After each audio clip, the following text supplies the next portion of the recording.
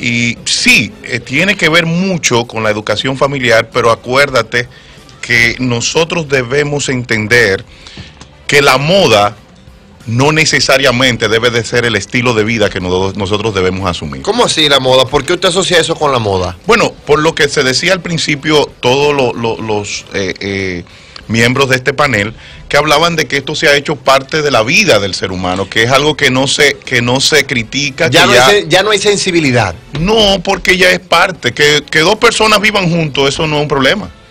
Y Ya que tengan normal. relaciones sexuales. Ahora, lo normal o la moda o lo que se hace parte de la sociedad no significa que sea bueno.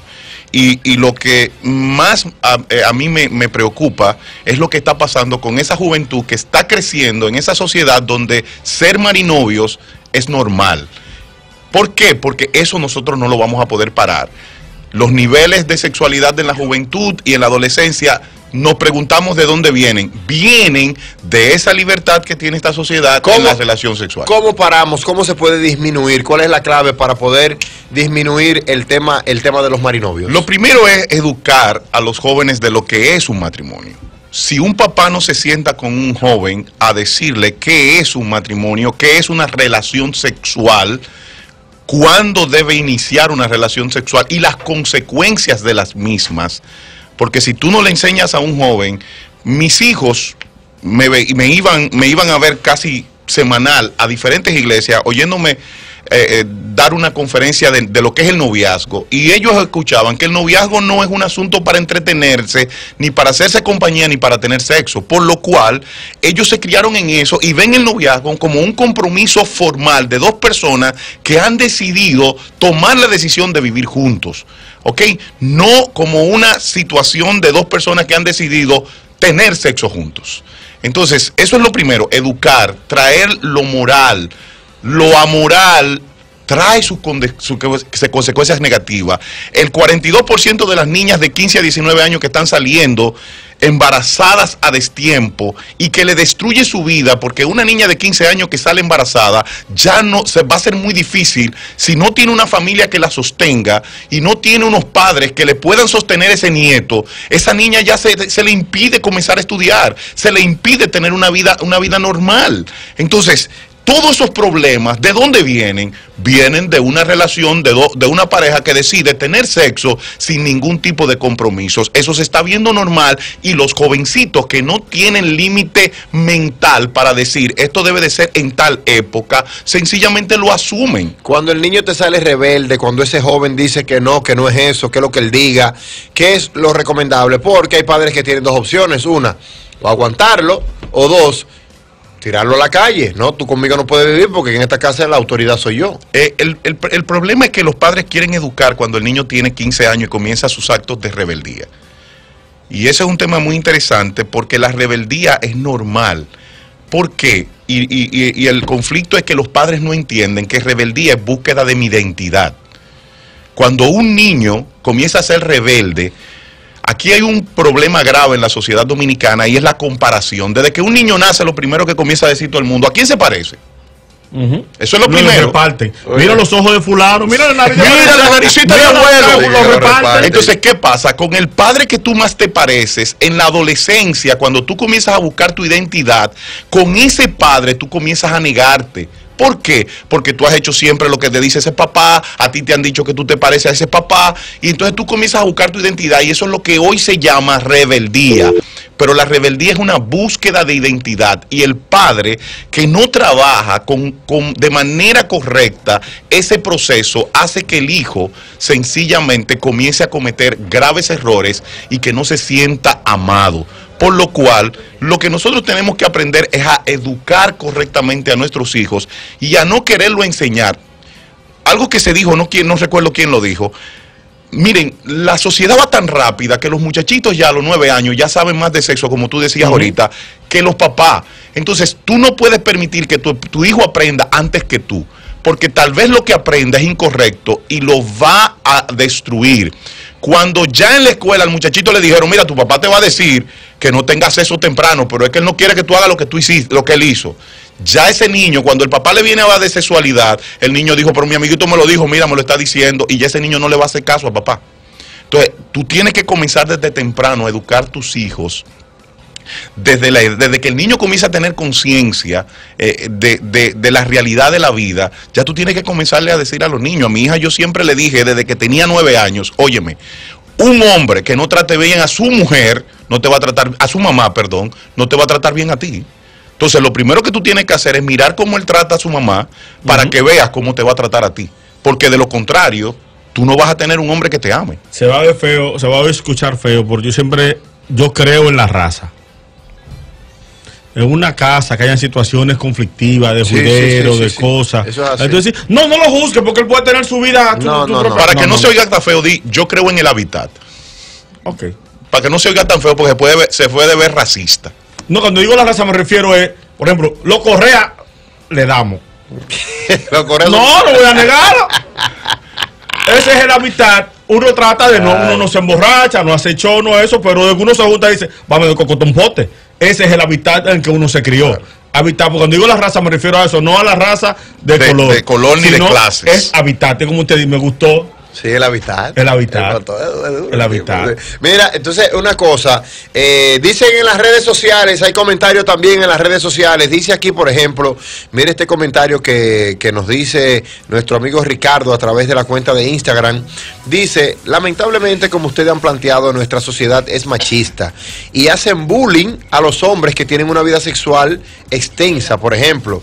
En el caso de él, él la tuvo después de los 19 años y se burlaban de él muchísimo porque ya a los 15 y 16, los amiguitos Claro. que no tenían control en su casa, pues entonces ya tenían de todo. En la universidad, yo estudié en la UNFU y yo recuerdo que íbamos para la finca experimental del- de la UNFU cuando yo dije que yo era virgen. Y a mí me hicieron un show que en los pasillos de la UNFU a mí me voceaba, ¡Iba el virgen! Ahora, ¿qué, ¿qué hizo que eso no me afectara ni tampoco me hiciera cambiar? Que mi convicción y mi, y mi moral y lo que me enseñó doña Mirella, eh, eso yo no lo voy a cambiar por nada. Por lo cual, cuando tú tienes una personalidad segura, a mis hijos le hacen bullying. Cuando dicen que mi hijo salió, llegó virgen al matrimonio, sus amigos comienzan a burlarse de él, pariguayo, le ¿Usted dicen de cómo se todo. manejaba usted? ¿Eh? Como, igual que tú. A los 21, más o menos, usted antes de usted. No, yo tuve varias novias y esa señora que está ahí, que es mi esposa. Ay, hola. eh, Ay, que me vino a buscar. Ay, linda. entonces, entonces, Pero no, usted, igual- usted tenía igual- 22, 22, usted fogoso, usted no bailaba, usted no sentía. mm, Claro. Y este claro, dolor. Claro. ¿Cómo Antes, de yo, antes de yo convertirme, cuando Nat- Saturday Night Fever, a mí había que sacarme de, de la Fever de San Pedro de Macorís. ¿Cómo? Sí, pero usted no me está entendiendo. Es que usted, Es lo que dice que uno si varón no- y uno. Es que, es que, to- mira, mira, eh, eh, eh, mira, Correa, cuando tú no tienes límites, no va a tener límites en ningún área de tu vida. Uno de los hombres más grandes que ha tenido el universo se llamó Alejandro Magno. ¿Qué destruyó a Alejandro Magno? Fue el conquistador más grande que ha tenido la tierra, por encima de los grandes conquistadores. Fue el hombre que hizo el imperio más poderoso de todo el universo. Sin embargo, ¿qué lo destruyó? Una falta de límites. Un Ah, vicio. no, un dañado. Un vicio. Entraventó a Alejandro Magno. Un vicio. Bien. Cuando había una fiesta en la casa de Alejandro Magno se llenaba de gente de, de Sí. vaina, rumba. Fíjate, fíjate una cosa, la destrucción de los grandes imperios fue cuando hicieron de la promiscuidad su elemento populista. Cuando tú haces de la promiscuidad elemento populista, tú caes. Tu vida cae y el ser humano cae. Cuando tú no tienes límites en tus áreas de vida, tú no vas a tener límite en nada. En nada vas a tener límite. Y los límites son los que te permiten a ti no ser un animal.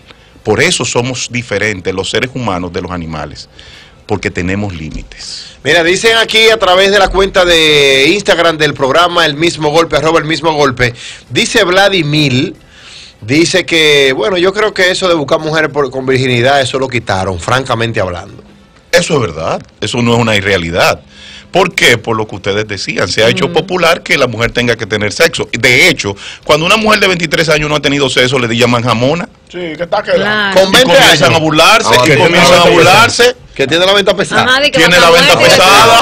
De que vaca Ay, Dios muerta. mío. Entonces no la sociedad está, lle- está llevando a los jóvenes, a todo el mundo, a que el sexo sea algo, algo normal. Dice John Jiménez que esto lo que parece es un cuarto evangélico, pero nosotros estamos hablando de un tema normal.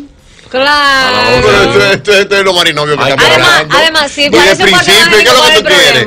O sea, Señores, es- es- con la corte parejo. No hemos, no hemos mencionado la Biblia todavía. ¿eh? en en ningún momento, Perdón, y el pastor y yo desde que arrancamos tenemos puntos encontrados, lo hemos manejado como, se- como los civilizados. Lógico, Lógico. como debe de ser. Dice aquí, dice aquí Dan Ril, dice, eh, no voy a editar como Jocho, porque Jocho no edita ni cuando es para él mismo. Él mismo se da fuego él mismo, leyendo. Dice, Es mejor. Dice, cuando Albermena estaba haciendo, cuando Albermena lo hacía, no era malo. Ah, pero ahora sí te molesta. Albert. No, y por aquí me dieron datos personales de Albert. No, yo- dije- que yo andaba ciego, pero yo lo dije porque yo lo hice de todo. A mí no, me vengan ni que- a mí no me vengan ni que a buscar. Te decían Stevie Wonder por tu casa. por supuesto. Cuando a Albert lo llamaban, a mí le preguntaban a al amigo, eh, eh, ¿huele bien? Sí. Respira, sí. Ah, pues mándame location.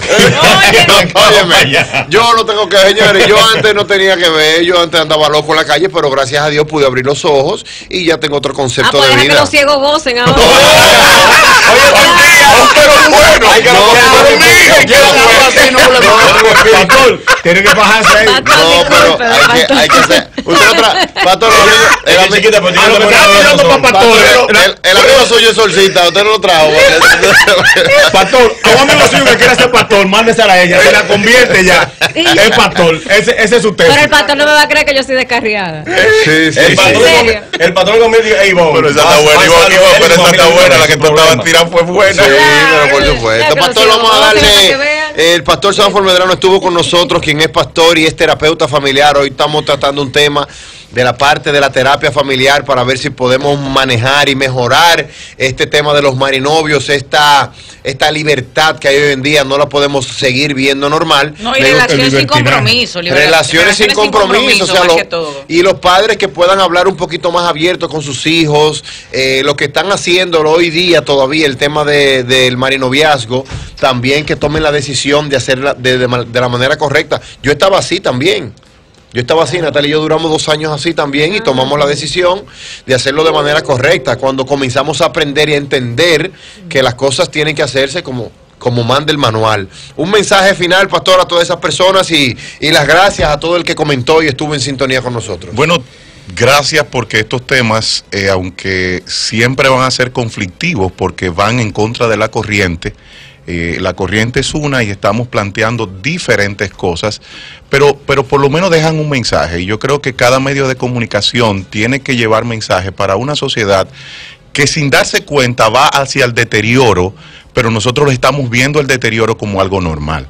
Si nosotros no trabajamos la sexualidad eh, y esa sexualidad abierta que estamos enseñando a la juventud por medio de ese tipo de relación sin compromisos, vamos a tener jovencitos trayendo hijos al mundo porque no hablamos de esa parte y es cuando una niña de 14 años trae un niño al mundo, ¿qué pasa con ese hijo? ¿Cuál es, cuál es la identidad de ese hijo? ¿Qué va a ocurrir con la crianza de un niño cuando es otro niño que lo está criando? O sea, todo son muchas cosas que, que cuando lo vemos vamos a una sociedad que va hacia el precipicio. Y si nosotros no ponemos un freno a esa sociedad, ¿hacia dónde vamos a llegar? Y más ahora, con una sociedad donde la ciencia está avalando cosas como la pedofilia, está avalando cosas como eh, el sexo ilícito. O sea, cuando vemos una sociedad científica que está avalando ese tipo de cosas, ahí vamos a tener problemas graves si los padres no volvemos a los principios y a los valores. Es lamentable que en las escuelas quitaran la, la materia de moral y cívica. hasta Dios eso, mío, hasta eso hemos quitado de la, vida de los seres humanos. hay gente, la lectura comprensiva era importante, porque antes tú leías cosas y tenías el raciocinio suficiente para analizar lo que estabas leyendo. Ahora te enseñan automático que tú leas, ah, no, yo lo leí, ¿entendiste? No, pero lo leí. Sí, lo leí. Oye, no así. Qué no. barbaridad. Bueno, gracias Pastor Sanford Medrano, Gracias, quien es pastor y terapeuta familiar. Yo seguiré, yo seguiré trayendo mis planteamientos, seguiré trayendo al pastor porque realmente debemos Claro. hacer cosas positivas y hacer cosas que edifiquen. Usted está en sintonía, es el mismo golpe.